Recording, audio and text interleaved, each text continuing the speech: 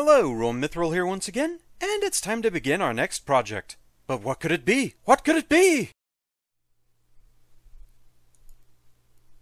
Yeah, yeah, you saw the video title, you know what's up. Uh, so, welcome to Mega Man Battle Network 5 Team Colonel.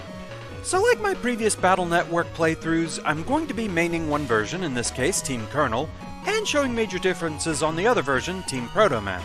So, let's get right to it.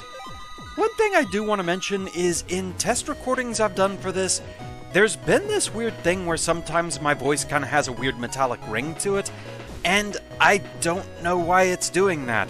Like, I went back and did some more test recording from Adventures of Lolo since that didn't have the problem, and it wasn't happening there, so it's something about Visual Boy Advance right now, and I don't know what the deal is with that. So, hopefully, it isn't too bad. If anybody has any suggestions, uh, feel free to reply with that. So, yeah, let's get right to the game. There was 19XDX. Cyber Society was almost completed.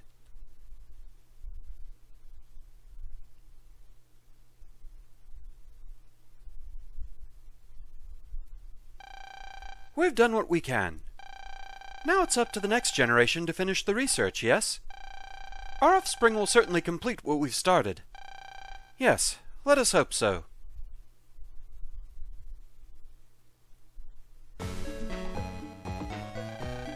Years later, in the 21st century, a network keeps society safe from all cyber threats. I mean, we've played the previous four games, so I'd kind of question just how safe it keeps us. Anyway, wake up, Lan. Come on, wake up. Lan!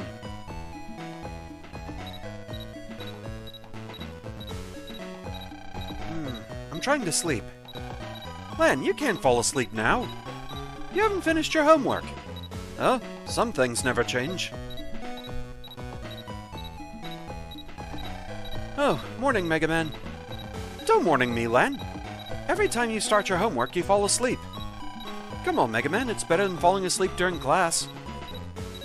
I mean, point. Lan got the personal terminal. PET.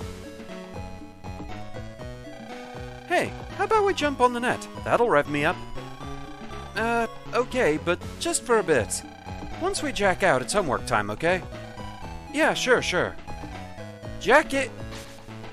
Lan, could you come here for a second? It's Mom. Wonder what's up. Coming, Mom. You have mail, Lan. Press start to open the PET. Select email from the menu to check and read your mail. Dear Strongbad. Okay, so our new email is Net Battlers. This magazine with tips and info is designed to help net battlers get up to speed. In this issue, we've got three hot features. What's jacking in, edit folders, and using subchips. What's jacking in? Jacking in refers to sending your Navi from your PET into the cyber world. You can jack into all sorts of machines. So keep an eye out for places to jack in. To jack in, stand in front of the machine and press the R button. Okay, young net battlers, do your best and enjoy your cyber world life. So we have two more topics. Edit folders. Learn to edit your chip folder. You can find battle chips scattered around the cyber world, but simply having them doesn't mean you can use them. Whenever you get a new battle chip, you have to make sure to put it in your chip folder. If you want to edit your chip folder, use your PET. Select the chip folder to open the editing screen, and while you're editing the folder, pressing start lets you sort the data. You can sort the battle chips in your pack and folders either by ID or alphabetically. It really helps in organizing your chips. Find battle chips by deleting viruses and opening mystery data on the cyber world. Also, you can buy battle chips at certain shops, as well as trade bug frags to get them. The more battle chips you get, the better a folder you can make for yourself. Okay, young net battlers, do your best and enjoy your cyber world life. One more. Using subchips. Know your subchips. In addition to battle chips, there are subchips. Subchips can't be used in battle, but they can recover HP, make it easy to avoid viruses, and other things. The thing is, a subchip can only be used once. But don't worry, you can buy more at subchip shops on the net and in the real world. Just keep an eye out for them. Oh, and before I forget, let me tell you something. There are BBSs here and there on the cyber world. They're great places to get info, learn about new battle techniques, and all sorts of stuff. They can be really useful places, so check them out. Okay, young net battlers, do your best and enjoy your cyber world life. Alright. Also, WizDog is up there. He's still adorable. Lan, could you run an errand for me? I'm tied up at the moment. Sure, Mom. Really? Thank you. Could you please deliver this to my friend's Navi? And we get a stew recipe. Delicious. Where's your friend's Navi? She's in the kitchen comp. You can access the kitchen comp from ACDC area too. Gotcha. Let's go, Mega Man. Okay, press the R button in front of your computer to send me to Cyberworld. You got it. Time to jack in. Thank you, dear. So, off we go. Jack in, Mega Man, execute!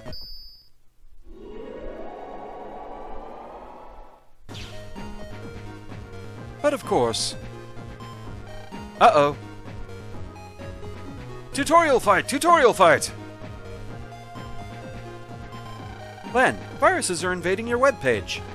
Okay, Mega Man, let's warm up with some virus busting. Right, you operate, I bust. Er, you're not too sleepy to bust viruses, are you? Are you kidding? Let's roll. Really? Okay then, let's do it. Battle routine set. Execute. So, time for the standard Battle Network tutorials. Lan, let's try some virus busting. Up right away. Leave it to me. Let's go, Mega Man. Um, to battle viruses, first I send chip data to Mega Man. Then I can select battle chips in this custom window. Here are the chips I can select. Hmm, any good ones?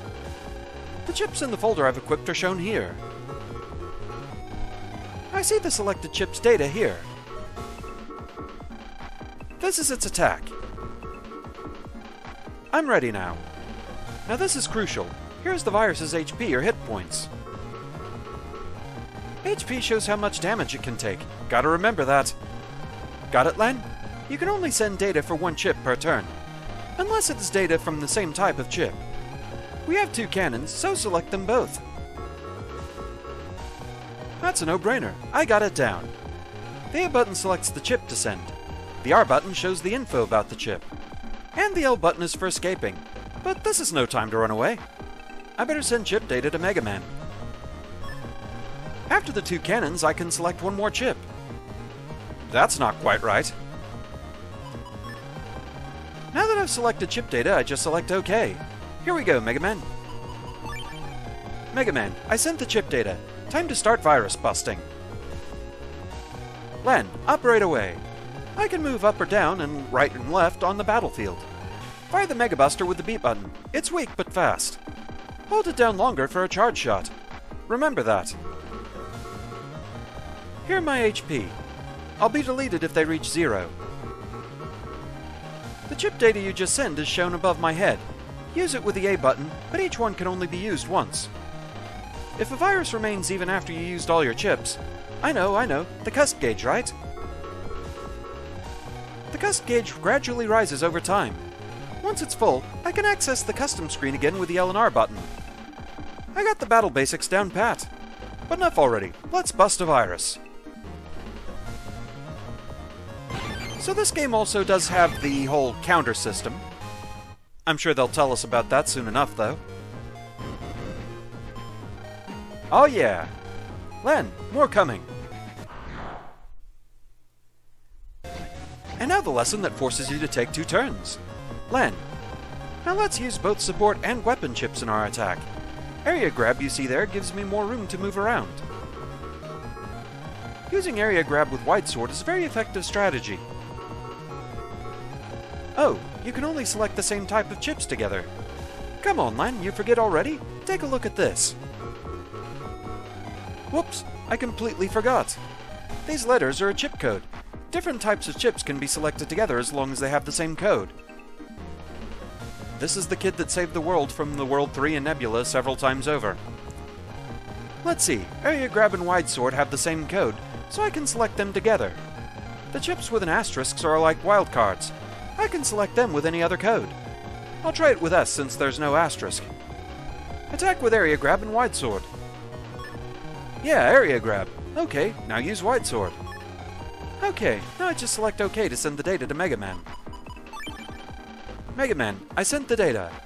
Let's score a combo. Okay, time for a combo. By using area grab with the A button, part of the virus's area will become ours to use. Now we can move up and use wide sword. This is a powerful attack, but remember, I have to get close to a virus to strike it. Let's give it a try. So, area grab. Didn't quite get the counter there. Not that it matters since we don't have any other chips to follow up with.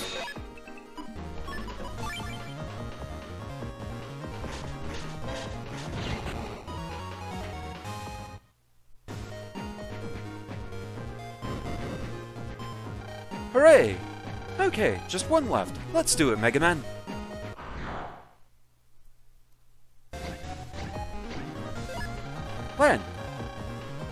Do remember counter and full synchro? I don't know. Do? Huh? What's that? Well, take a look at the emotion window here. It shows my emotional state. By looking here, you can tell how well you're operating me. At first, I'll be calm, but if I keep taking damage, I'll obviously start getting anxious. Conversely, operate me well so our souls connect, and I'll go full synchro, a state where you and I act as one. This improves my focus.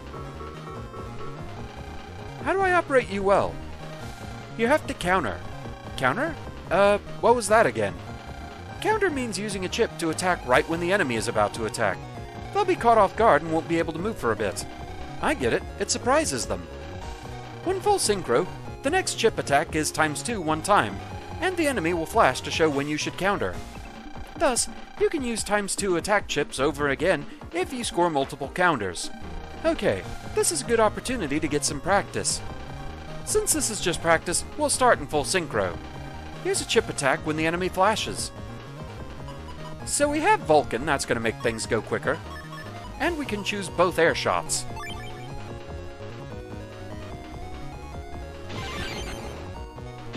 There we go. Well done, Lan. Don't try to counter every time, but if you can master it, I think you'll find it very effective. Still, it won't work with chips that stop time like area grab. Remember to use the right chip at the right time. Roger, I'm gonna go master counter in full synchro.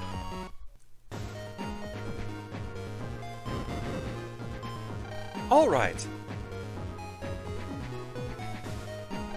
Excellent. Nice work, Lan. Nice work, Mega Man. Okay, now let's run that errand for Mom.